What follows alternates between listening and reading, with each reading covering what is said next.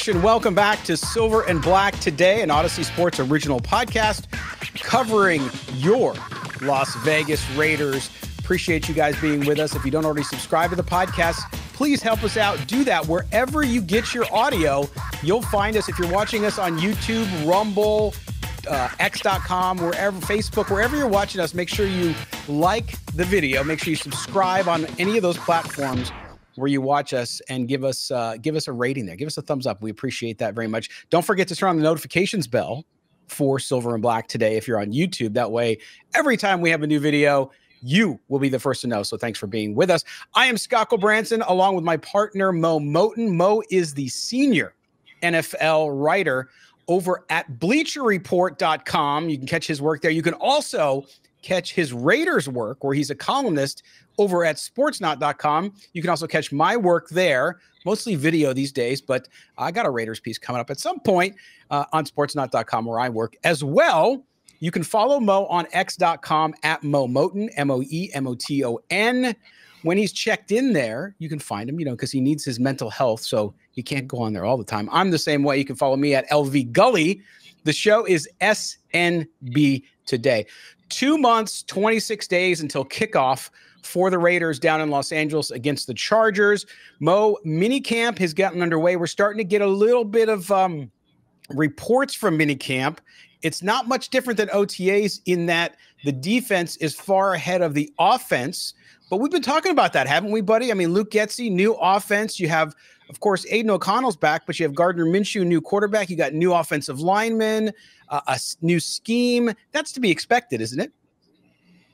should be expected, but there are some people out there who are already panicking because they're they they think the offense is going to click right away. It I, I will say I okay I haven't played on the NFL level obviously, but what? I will say I will say that studying the game for as long as I have, I I, would think I look at the offense as choreographed football. So mm. things have to be in sync. Your offensive lineman have to block clear lanes for your running back. Now there are no pads, of course, but it's more choreographed than the defense having to just come down and just basically be disruptors. It's a lot easier to, in my opinion, to be a disruptor mm. than it is to run a choreographed offense, especially a new system that you have to install with their new players, new coaches. So I wouldn't panic over the defense being ahead of the offense. I, I don't think you really see any type of uh, how should I say this progress until the pads until they put the pads on. I I say I feel like I say this every year, Scott. I don't I don't really not that I don't pay attention to reports at this time of the year, but there's nothing really to um, dig into or read into too much until the summertime comes when there's actual hitting and something closer to actual football being played on, on the practice field. Absolutely. And you know, the, the thing is, and by the way, on today's show, we're going to get into this mini camp stuff. We'll talk about this. We're also going to hear and see, watch, if you're watching us, if you're listening to us, you'll hear Maxx Crosby talking about the defense. And then you'll hear Nate Hobbs talking about the quarterback battle. Of course, he's out there covering the likes of Davante Adams, who's in uh, minicamp. Uh, we talked about that last episode. He's there. He is playing and the rest of that offense. And and I think that's the key here too. We talk about it. Look, Patrick Graham, yes, there's some new players on defense, but for most part the unit is kind of intact. They come back, they know the scheme, they know the language Patrick Graham uses. The offense is at a disadvantage there. They just need some time and it's er, early like you said. So so learning a new scheme, of course the offense is going to struggle. We heard reports uh, on on Tuesday that you know the quarterbacks didn't look so great. They were having well, yeah, of course, you're learning terminology, you're learning the place, and and those guys, both Minshew and Aidan O'Connell, very smart dudes. So I'm sure they got the playbook. But when you get out on the field and you're having live action against the defense, it all changes, and you have to wait for that. That's why this mini camp's important because at least they get a flavor of it. So when they come back next month for full camp, they at least have uh, more of a familiar kind of uh, ring. It has a more familiar ring, I should say, to those quarterbacks and to the rest of the offense because the offensive line needs to understand the cadence uh, of the quarterbacks. That obviously, with new guys on that line like Jackson Powers Johnson, he does he's not worked with O'Connell or Minshew, and then the other guys haven't worked with Minshew. So, so you you would expect that, and so we'll hear a little bit. Uh, Nate Hobbs had some interesting things to say about the quarterback battle, which I was really really excited to hear him talk about because it's something we've talked about. So we're going to get into that. And then, of course, in the second segment today, we will get to your calls and your text messages on the Raider Nation mailbag. Uh, Mo, we, we talk about um, the defense, right? And and actually, Maxx Crosby, of course, uh, is is just is just a peach of a guy. I, every time I hear him talk, as he matures, as he goes on in his career, I just love how he keeps it real and he talks about it. And I think that he is such an important cog in that wheel for everybody on that team, not just the defense, because there's no one who works harder and he has a sense for what it's going to take for this team to make a step to go from missing the playoffs by one, two games, however you want to look at it, to being a team that actually competes for a playoff spot in the AFC. Um, talk a little bit about that because I, I know people love Maxx Crosby. They respect him. They hear all the national praise. But on a team like this, where you're starting to put new pieces together, you have some old familiar faces, that leadership is key. It doesn't always have to come from the quarterback position it can come from somebody like Maxx Crosby, and clearly he's the guy setting the tone.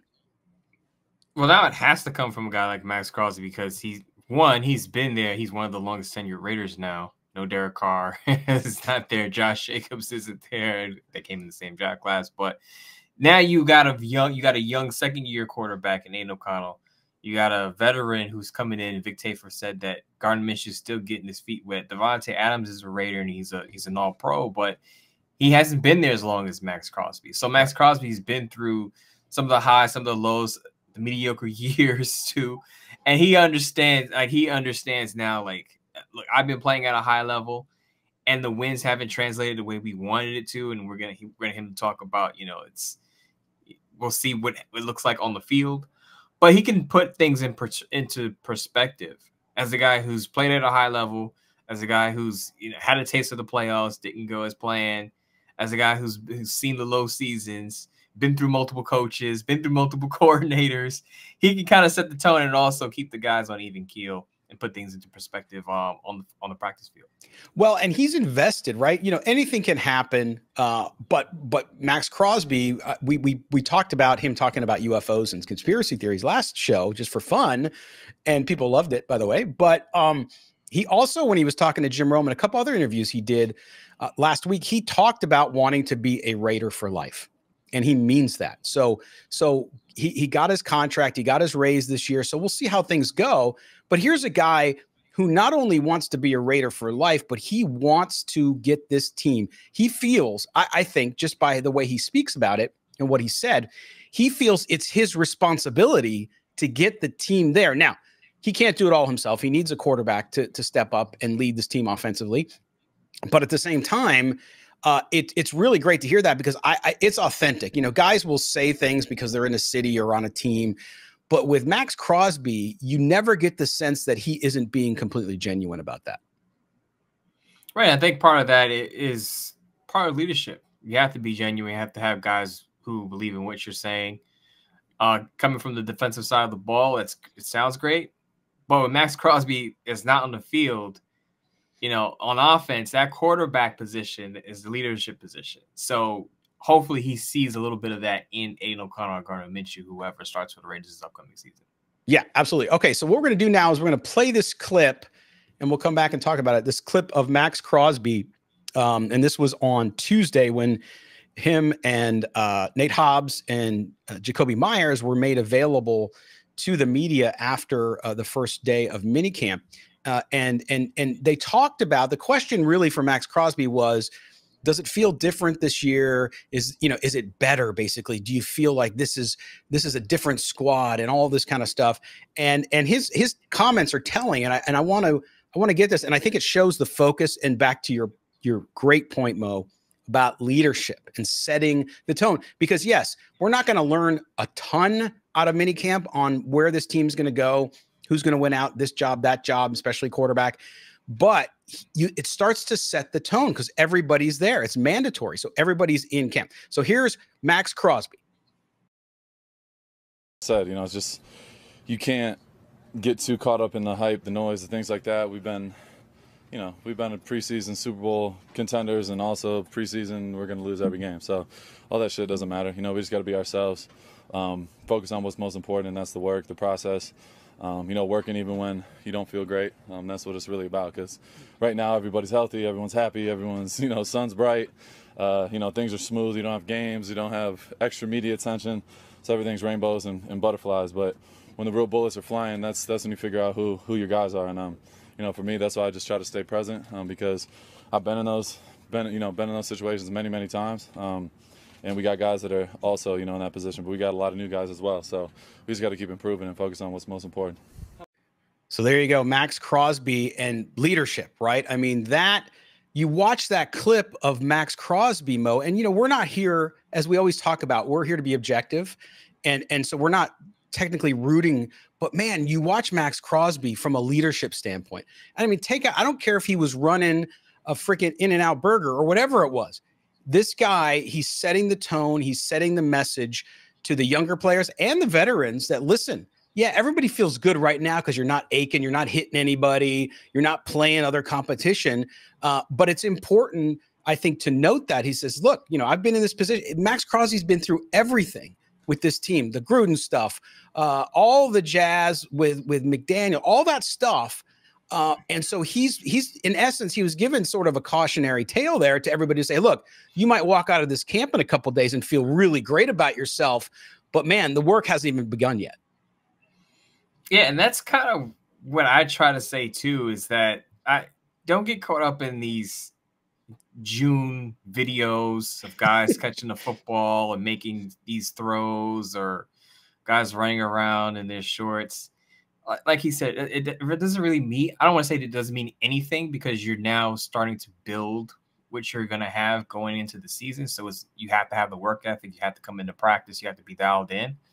But as far as like what the team could be come week one, it's still a long ways from now and you still have to put the work in and the only way you're going to do that is if you if you show up to practices and you put your all into it and then hopefully that translates into the regular season but you can't get too as he said you can't get too caught up in what's happening right now. You just have to take it one day at a time stack good practices. Right and i think it's it's not to say it's not to throw a wet blanket on Raider Nation who's excited, I think, for this team because of not only guys like Maxx Crosby, because of Antonio Pierce, what he did last year, and the kind of vibe he brings to the team. And even Antonio Pierce a couple days ago on media day said, "Hey, listen, it, we it's great, and you hear me talking this, and I mean it, but at the same time, the guys know they got to go out and perform on the field." So for right now, for fans who are missing football and want their football back, want their team back in the Raiders, I get it, and and but but it's good to hear Maxx Crosby say that because I think, especially for younger players who didn't experience all of the the garbage that happened last year under Josh McDaniels and and going back to Jon Gruden and all that stuff that that that hey you got to focus on what's ahead and we got a lot of work to do if we're going to be competitive in this in this league and be a playoff team there's a lot of work to do. Now um, the quarterback battle we heard uh, i saw a lot of the beat guys and reporters out there uh, during minicamp talking about how uh, the quarterbacks didn't look particularly well and that the offense was struggling. As we said, we expected that with a new system. But they talked to Nate Hobbs, and uh, I was looking through the Nate Hobbs comments to find something about the defense. But he actually, they asked him about the, the quarterback competition because obviously he's out there competing against those guys in drills. And he had some interesting things to say here. And I think it goes back to what you and I and a lot of folks that listen to this show and watch the show focused on, which is competition is great, not only for these two quarterbacks in Aidan O'Connell and Gardner Minshew, but also for this Raiders team to get the best offense they can get out. So here's here's Nate Hobbs talking about the quarterback competition. They going at it. Uh, AOC had a hell of a day today. He was throwing some balls.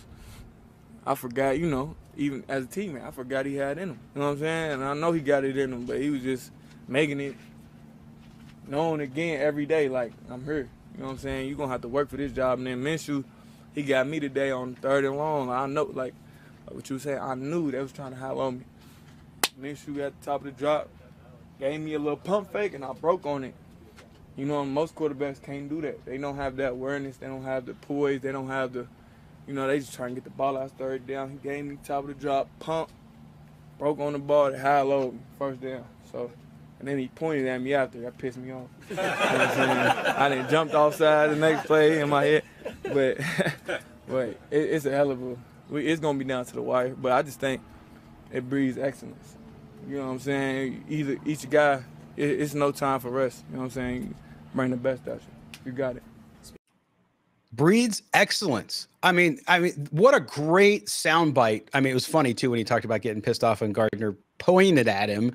But um, that's what we talked about, right? And and we haven't seen that in a Raiders camp. We have not seen it when Derek Carr was there. He was the starter always, and they didn't really have anybody behind him that was going to push him. Now you have two guys who are going out, and he talked about how well he felt that Aidan O'Connell had then thrown some balls, man, that were incredible to him. And then you had Gardner Minshew showing the wherewithal with the pump fake and all that stuff that you would expect from a veteran quarterback who's been around a little bit. But that whole point at the end there about driving for excellence, uh, this is something where we talked about don't root for one guy over the other, root for them both to do really, really well, because that will make either quarterback, whoever wins out, be the best that they can possibly be for this Raiders offense.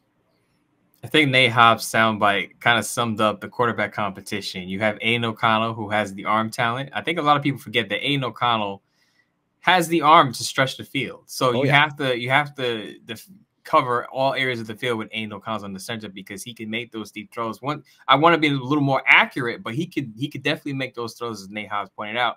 And then you have the veteran savvy of Gardner Minshew, where he could do things that – you know, a second year pro may not be able to do because he just hasn't had the experience that Gardner Minshew has had. Remember, Gardner Minshew has started over 20, 30 games in his career. So there are things that he Gardner Minshew could see on the field that Raider defenders have to be aware of when they're in coverage because he could pump fake you out of your cleats and make you look silly and then point at you and piss you off.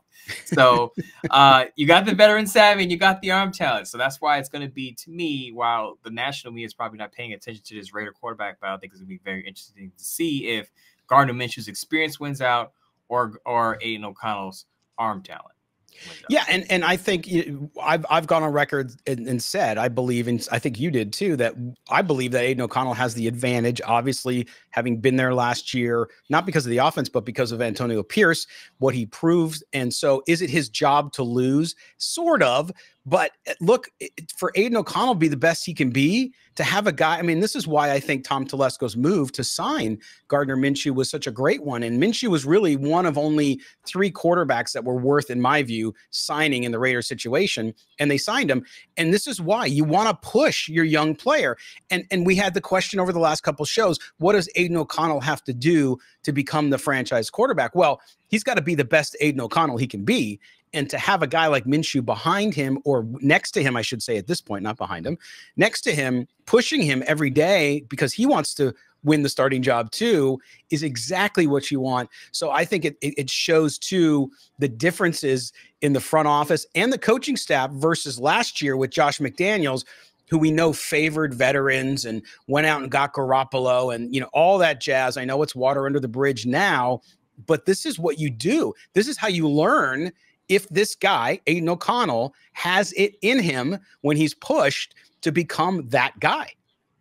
It's a true quarterback competition.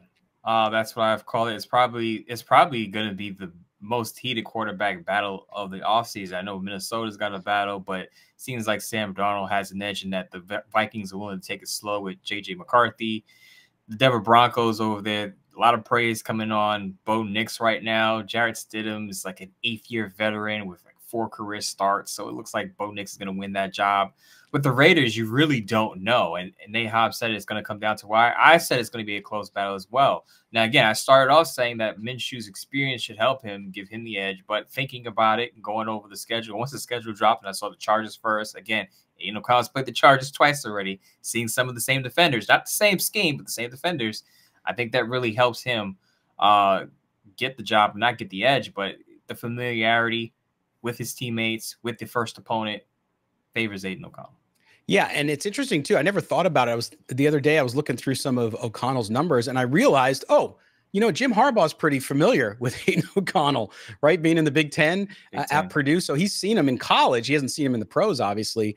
He's got the film from last year to look at. So that'll be interesting. That's going to be just a dynamic, I think, uh, uh, opener for the Raiders, knowing going up against Harbaugh and the Chargers and not knowing what they're going to be and losing some talent they've they've had, obviously. But it, it's going to be interesting. And you're right. I think this this quarterback battle is the best in the NFL. Uh, just because of the closeness of it and and what's at stake for the Raiders, because the Raiders should make a jump and if they make a jump, they need good quarterback play. So that's what makes it fascinating. But we'll see. Well, it'll, it'll all come down to that. And and I love what Nate Hobbs there said too. He said he thinks it's going to go down to the wire, which is exactly what you said several weeks ago, Mo. You said, hey, even if Aidan O'Connell wins, you think he's going to get pushed hard enough that you know it, Gardner Minshew is going to make it a tough decision on Antonio Pierce to name a starter but that's exactly what you want. So good stuff. And and I think that for fans out there listening or watching the show, that's exactly what you want because that's going to you're going to get the best whoever wins out is going to be the best guys he will have earned it with stripes to to get out there and become the starter quarterback for the Raiders as they head into week one against the Chargers. So good stuff there from minicamp. And uh, we hope you enjoyed that and, and the discussion. All right. We're going to take our first break here on the Thursday edition of Silver and Black today, an Audacy Sports original podcast.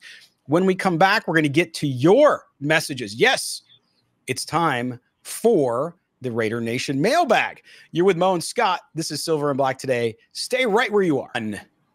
Hey, everybody. Welcome back to Silver and Black today, segment number two, the home stretch here on the off-season edition of Silver and Black. Today, we are an Audacy Sports Original podcast. If you don't already subscribe, do so wherever you get your audio. Please subscribe download and rate us. Yes, if you're if you're listening to us on Apple, give us that five star. We'd appreciate it. If you're watching us on YouTube, hit the subscription mm-hmm. button and the thumbs up, and also the notifications bell. And of course, the chat is always good. Having fun in the chat. A lot of talk about Aidan O'Connell in the chat, Mo. That's been the last few weeks. People, as I said, people are, and it's only going to increase as the competition increases, which is great for the team, great for fans, everything. So it's it's going to be fun as we roll into that.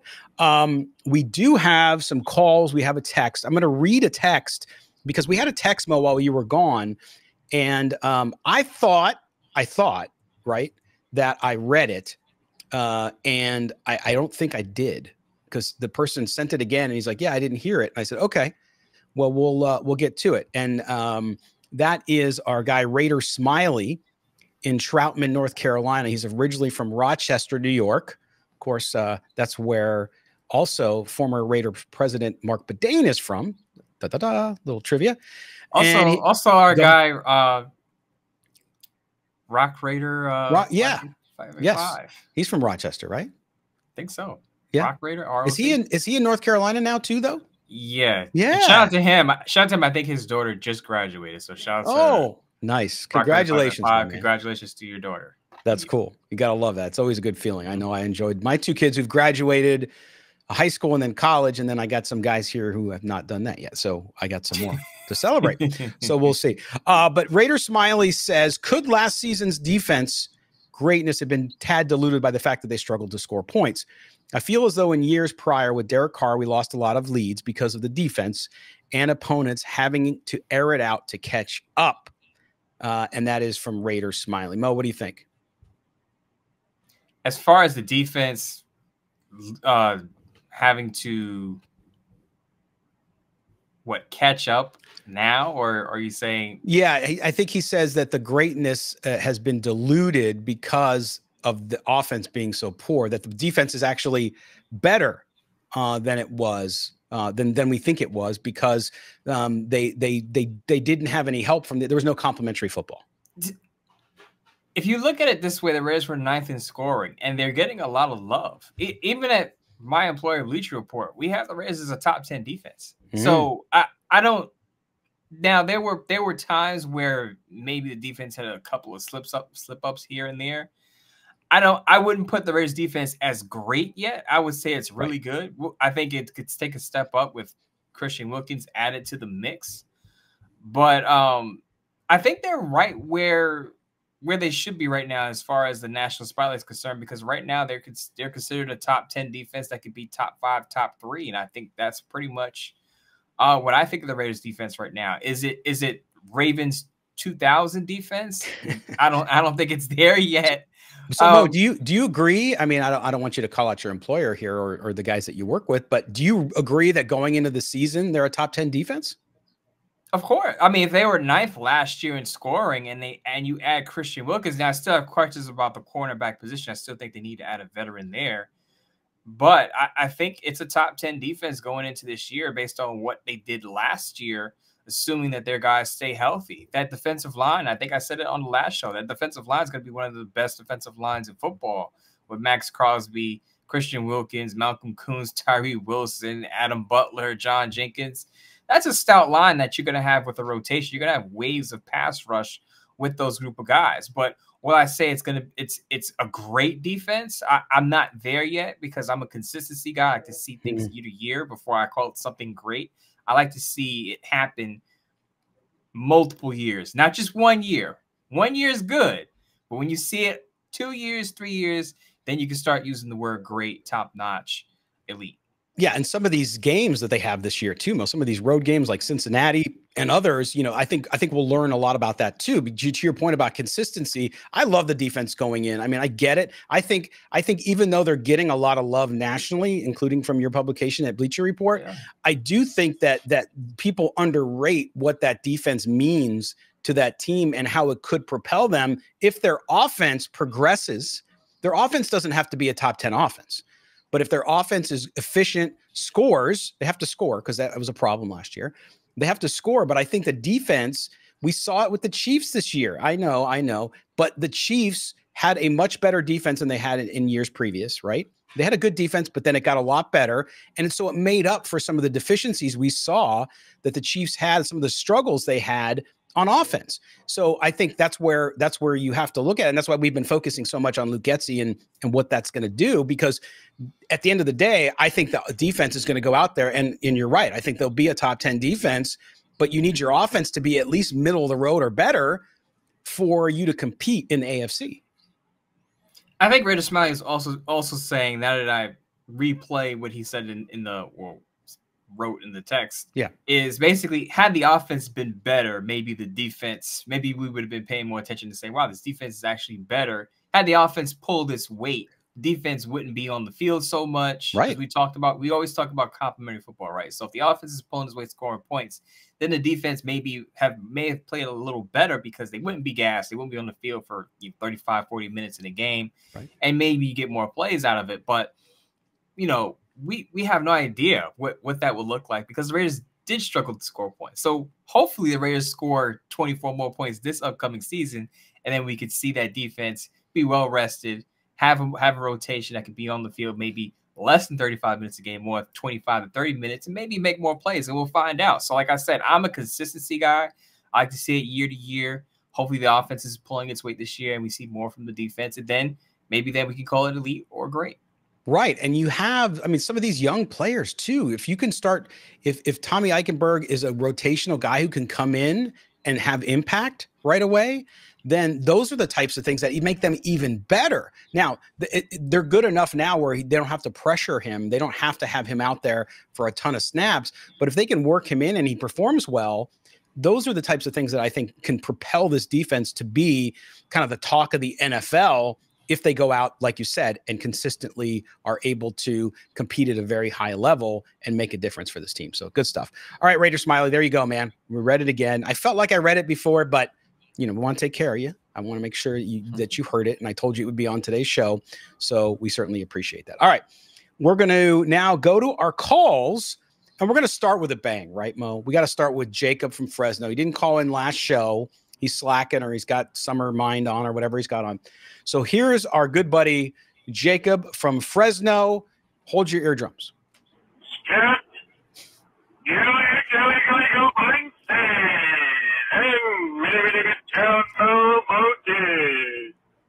This is Jacob from Fresno.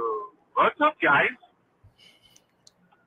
Uh, listening to the show on uh, Tuesday night, and uh, Wow, Mo, I, I didn't know you had your master's in uh, Raider Nation history. I just got my bachelor's. there. Hopefully, one day I'll be like you, maybe even get my PhD. We'll see. But you know, guys, listening to all these insiders, all these beat writers, all these something else that rhymes with it. Anyway, everybody's talking about these screens. All these screens. When the guys go from their break or whatever, they go to drink some water rather than, you know, chopping it up with one another and hanging out and telling the next joke or whatever water cooler conversations go on in the NFL. Rather than that, these guys are going straight from their practice and they're going in to look at what just happened, how they can get better, what they can do to fix the errors and mistakes that they made. And the coaches can come up and talk to them too. And so I posed the question this year. Everybody's talking about the Raiders X factor. Is it Antonio Pierce? Is it Aidan O'Connell? Is it this guy? Is it that guy? What about communication? Mm. Because every insider that I've been listening to has been bringing up these screens. Your boy Q from Locked On Raiders, you know, the uh, Hondo Carpenter. All these guys keep saying how different this thing is. Raiders have these two huge screens, and they're saying that there's this big advantage. What do you guys think? Is our X factor for the season this communication that we have with coaches and among players where they can see this instant replay of what just happened basically. They can go over their mistakes and they can correct them in real time rather than having to go get showered up, get changed, go get something to eat, and then a couple hours later you see your coach in the film room and then you have to wait a whole other day to go start your whole thing. What do you guys think? Is that an X factor for the Raiders? You guys let me know. You take it easy. I'll go. Raiders. All right. There you go. Jacob from Fresno. And and Mo, they they do. They have these big screens out there. And I think that this goes to approach, right? This is about coaching. And even even doesn't matter what business you're in. When I was in the private sector in corporate America, I always told people who work for me, I said, listen, I'm gonna always give you feedback. If we go into a meeting and you do something in a meeting that deserves praise or deserves some correction, or I need to give you some pointers on it where you could have done better, I'm going to tell you right after it happens because we learn that way when it's heat of the moment and and it's in the moment feedback you are more receptive to it because it just happened to to jacob's point going to take a shower so this approach that antonio pierce patrick graham and the guys on the staff there have taken with bringing these screens out and reviewing things that happened in video so they guys can see it played back to them is it an X factor? I, I think it is as part of how this team is approaching coaching and how this team is approaching reaching the players and having them understand what it is they want them to do. Whatever advantage you could use to help you get better, you use it. So I think this is these are this is one of the things where it may not have the biggest impact during a regular season because even during the games, you'll see after a play, players go to the sideline. They, what do they do? They go right to the tablet. They go right Tablets, to the pads yeah. and, and look at things, right? I think it's it's great for practice purposes to, as you said, immediate correction is always good because you don't forget about um, now certain players and coaches can remember have incredible recall. I've seen it from Sean McVay. I've seen it from Kyle Shanahan.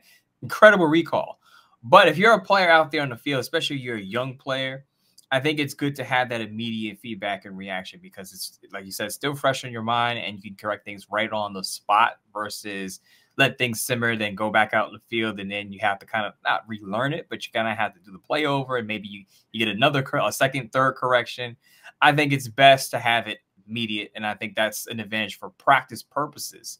Now we'll see if that carries over to the regular season because, as I said before in, in the earlier segment, right now it's the install period. You're mm-hmm. going through, you know, certain concepts. You're, you're just installing things to make sure guys get a grasp of what's going on. So I, I think that that plays into the practice aspect of it. And you, again, you're hoping that it carries over into the regular season. Yeah, and and again, the approach I like because one of the question marks I, I, still believe it is that look, Antonio Pierce, as as as well as people thought he did last year, this is the first full season, the first full off season, first full staff that he is in charge of. He is the CEO. So seeing something like this, you get insight into the approach, and it's very different than the previous staff, right? Uh, overall, and and the previous CEO. So if you look at that and you say, okay, he's going at this a different direction. To your point, what the impact is, we won't know until we see how they play. Does it work enough to the fact that they correct these things so that when they come out to play week one, the first six weeks of the season, you know, they are uh, uh, clicking and very, very regimented and disciplined as as Antonio Pierce says he wants his team to be. So so I like it. I like the different approach and certainly it's something that should I think make people feel good about it, but again, we don't know the impact on it. So as far as being an X factor, I think there's so many different factors that that come into play when you're trying to get a team to reach its full potential, especially under a new head coach with new people on staff, new players, all that but we'll find out once they as as he says once this resume on the field starts to fill itself out we'll know exactly how it what how how well it did if it had any impact at all and we might hear players talk about it say yeah back in camp we did this.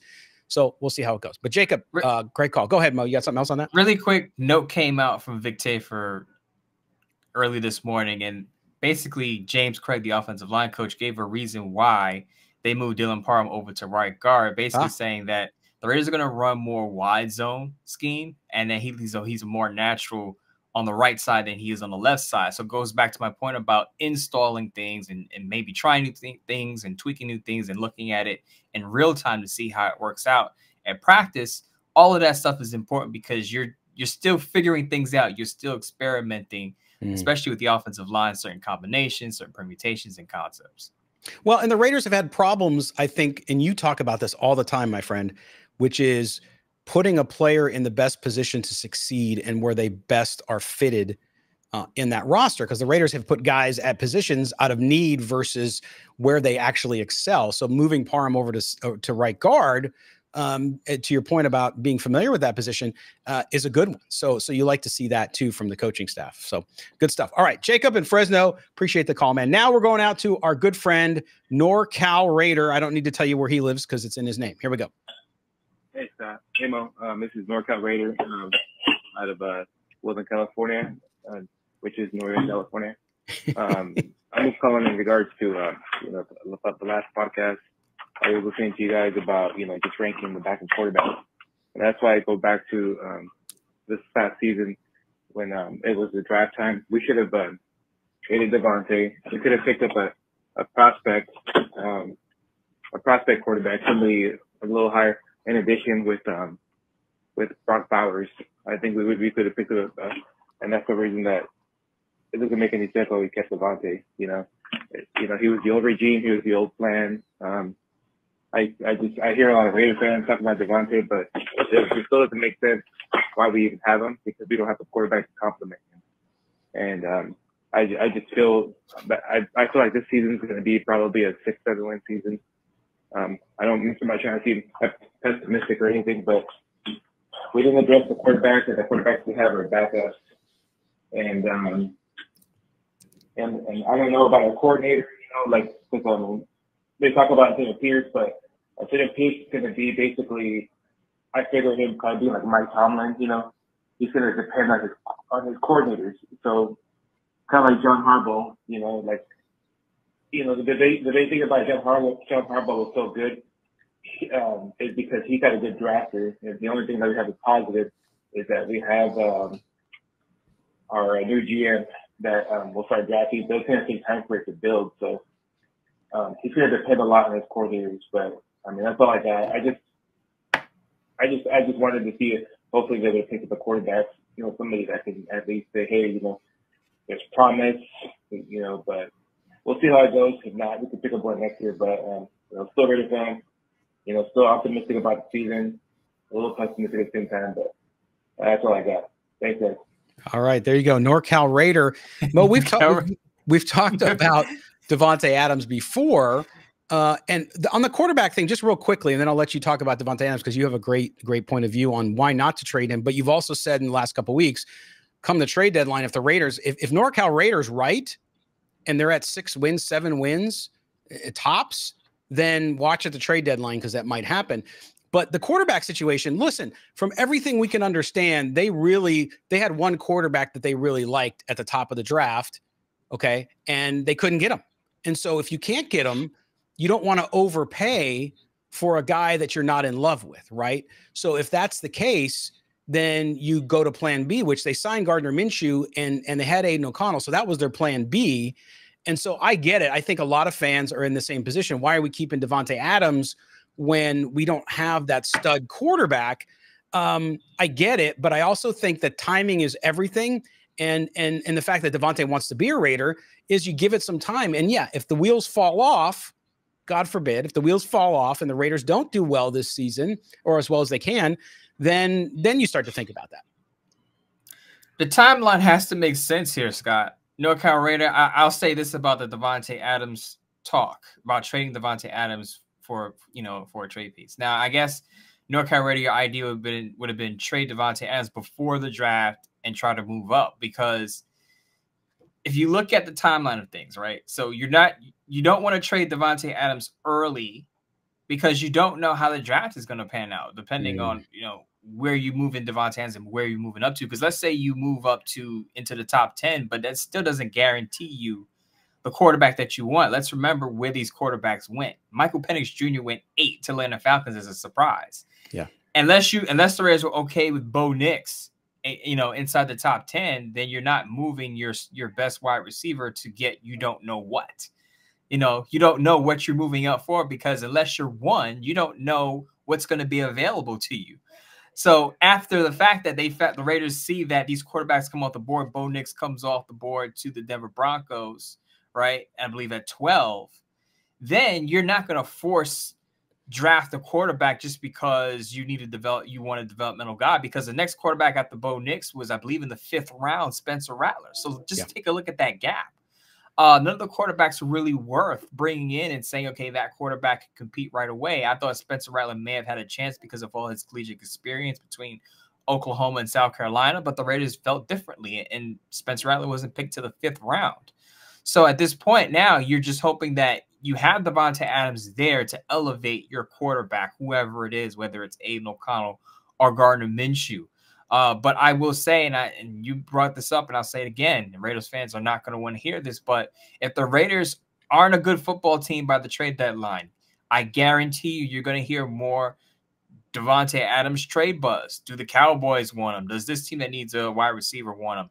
You're going to hear that because there are some people out there that feel the Raiders are going to fall into another rebuild. I know that the R word is a dirty word on this show to Raider fans, but if if they're somewhere like you know, four and seven, four and six, people are going to say, well, are they headed for another rebuild? And I brought the point that Davante Adams' contract, the way it's structured, is very interesting. He doesn't have any guaranteed money in the last two years of his deal.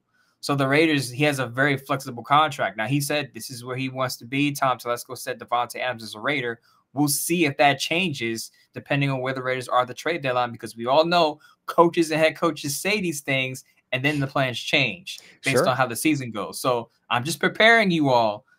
If it's not a good start to the season, this this conversation is going to come up again. But if the Raiders are in the mix, if they're close to 500 or hovering around 500, then I think it goes to my point that you keep Davante Adams to help your quarterback, whoever that is. Right. And and if they do end up moving him, I mean, you, you got to think about how things unfold during things are crazy, right? You see, you see, we saw what happened with uh Rodgers last year, four plays out for the year, right? Mm-hmm. Suddenly you might have a team the, the Baltimores, the the Buffaloes of the world who who are are are favored to get to an AFC championship game or NFC championship game on the other side, the Eagles, whoever, they have somebody go down with an injury, and suddenly in the trade market, they're willing to give you whatever you want for Davante Adams because they're running for a Super Bowl.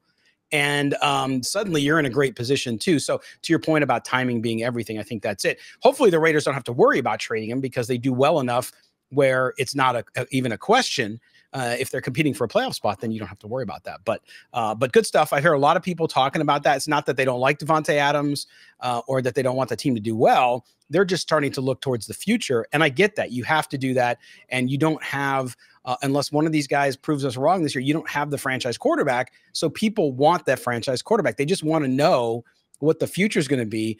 Unfortunately, unless you're Nostradamus, you don't know what the future is.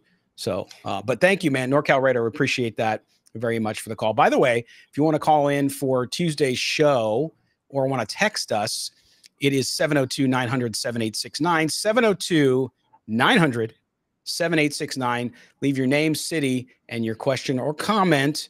Or if you want to text us to that, same thing, make sure you put your name in there because I get some texts without names.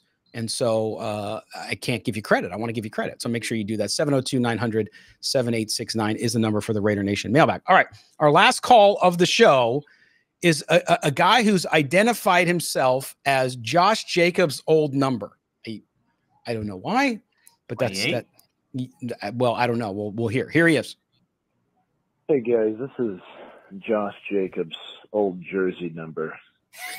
Man, what a what a boob that guy was, huh? Change it to number eight because it helped, you know.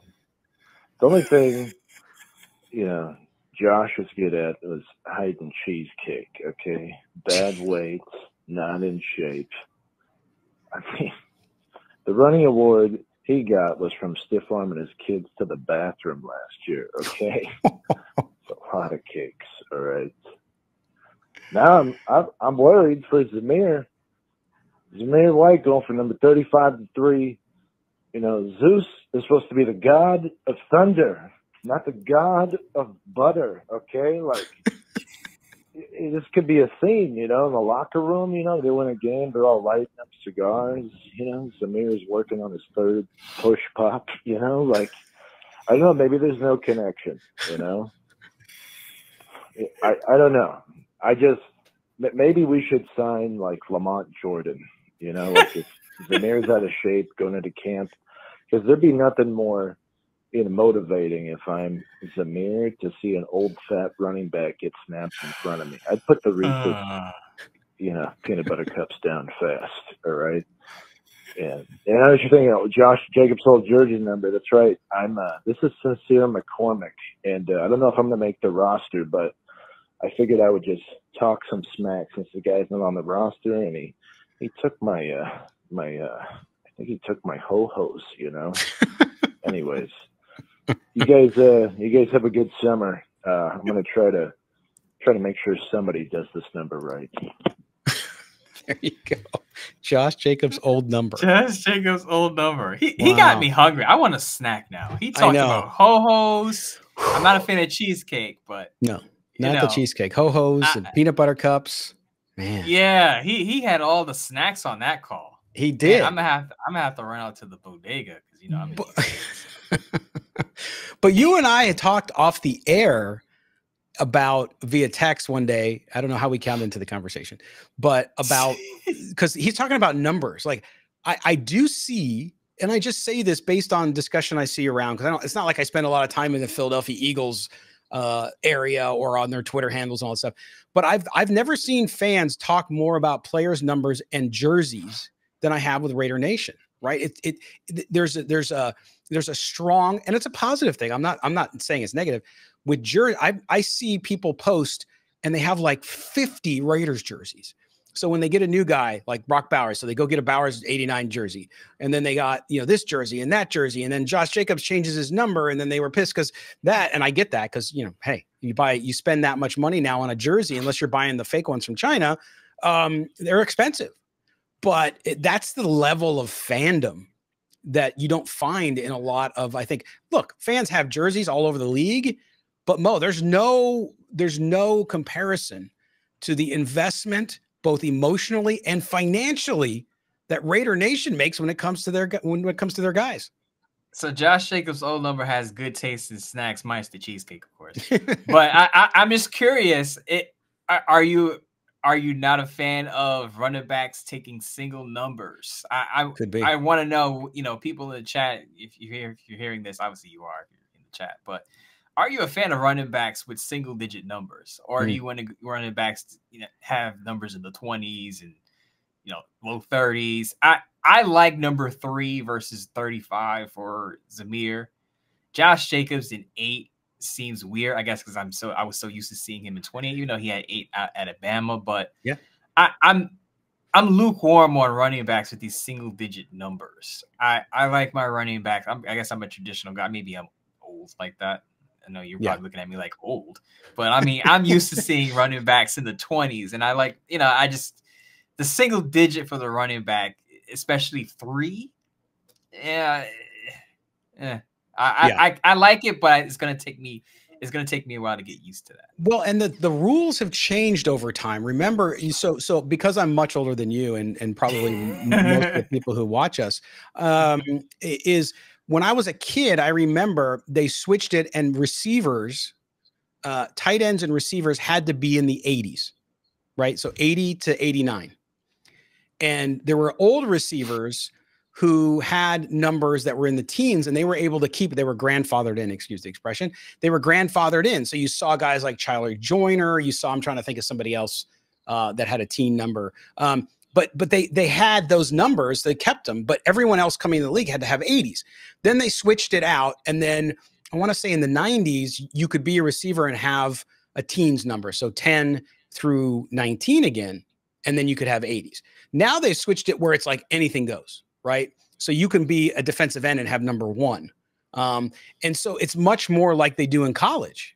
Uh, so they've mimicked the college level because that's why Josh Jacobs changed his number in the first place, right? Because that's what he had in college. And you see some of these guys coming out of college now that want their college number and they can get it now no matter what position they're at because the NFL's relaxed those rules. I don't know why that was a big deal. Maybe the players association. I don't know. It's a very interesting question. But yeah, it seems for those of us that are older than 30, it seems unnatural sometimes to see a defensive end wearing number nine or or number 14. You know, it's like, what's going on there? But that's the way it goes. And maybe it is about selling jerseys too, by the way. Pro, I would say so. I guess that that plays into it a bit.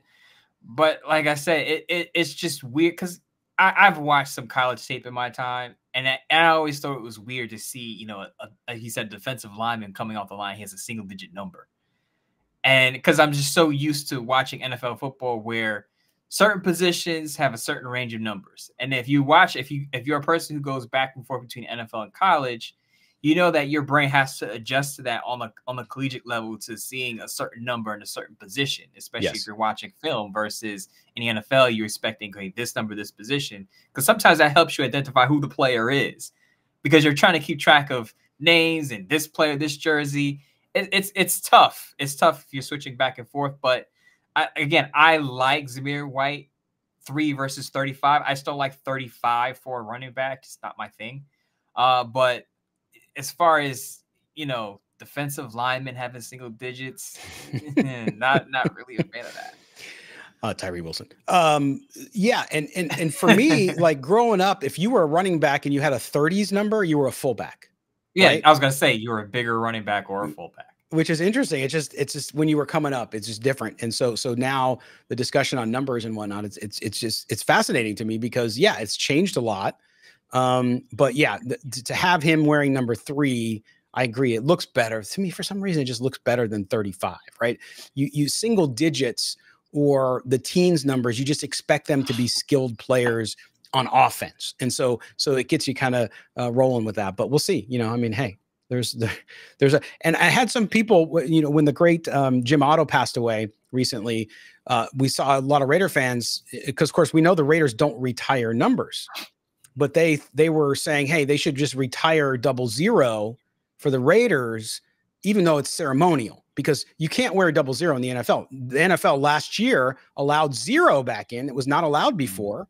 Now zero is back in, and there's guys wearing it, but double zero. And I I would say that they already have ceremoniously uh, uh, retired his number because if you go to the wall at Allegiant Stadium now, which is part of the Raiders Hall of Fame, you'll see double zero up there. So they clear on, and nobody will ever wear it again unless the NFL decides to bring back double zero, which I I don't anticipate, but you never you never know. They're going to bring know. in fractions next. You never know, Mo. I'm um, three and one third. decimal numbers, Dewey Decimal System. Decimals. There you go. So all fun, all good stuff. All right that's going to conclude the show for today. Appreciate all the calls and the text messages. Make sure you do that. Send them back in uh, next time for next show 702 900 7869 is the number 702 uh, 900 7869 to be part of Silver and Black today, which we love to have our listeners and viewers part of the show. Mo, I know you got something up on uh, Not today. Tell everybody about it so they can go read it. Some people don't want to read your stuff, don't want to read my stuff, but we're telling about it anyway. Because if you want a further discussion on the Raiders, we go in depth when we're typing and writing. Raiders pre-training camp to-do list. What the Raiders need to do before training camp starts late July. Bunch of contract stuff that maybe we we talked about on the show a little bit. I mentioned Davante Adams. Two additions that the Raiders still need to make to their roster. The Raiders have 91 players on the roster. By the way, there's one exemption from the International Player Pathway Program. Uh, so if they add someone, they have to let go of someone. Just keeping that in mind. I also have a Bleach Report live on Friday, where I'll also dig into what I wrote about on Sports Now, just in case you don't want to read it. you can hear me talk about it on Bleacher Report Live. what do the Raiders need to do before training camp? Because there are five things that I feel that need to be done to the roster before they reconvene in July. There you go. So uh, you can catch Mo live tomorrow on Friday. Bleacher Report Live. Get the app. If you have Roku at home or one of the other streaming devices, by the way, you can watch it on the TV at home, which is what I do. And for some reason, my dog keeps barking whenever Mo's on the screen. I don't know. No, I'm kidding. But yeah, I like watching on the Roku. It's good stuff. Uh, obviously, on your phone, you can you can communicate and, and ask Mo questions or pester him like I do every once in a while um, with comments that his producers ignore. But nonetheless, we we can uh, we can uh, make sure that you uh, follow that. It's it's good stuff. Uh, we'll be back on Tuesday and again, uh, we appreciate you guys being with us. Do us a favor, subscribe to the pod, pod, pod podcast. Yes, that's what that's how you say it. Podcast, the audio version up anywhere you get your audio. Please uh, subscribe, rate, review. We appreciate that as always. If you're watching us on YouTube, thanks again for being with us and appreciate the lively chat as always.